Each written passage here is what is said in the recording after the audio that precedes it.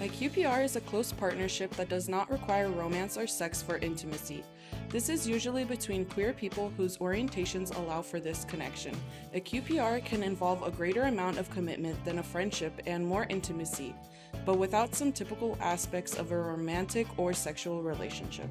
You can support our short film about asexuality by contributing to our crowdfunding campaign through the link in our bio. Thank you.